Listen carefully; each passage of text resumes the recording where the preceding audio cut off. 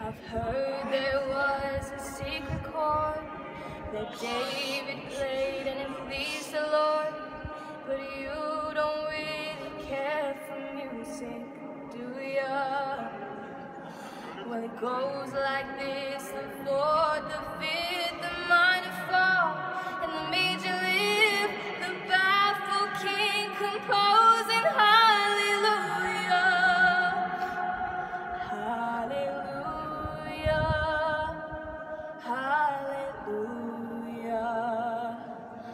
Hallelujah.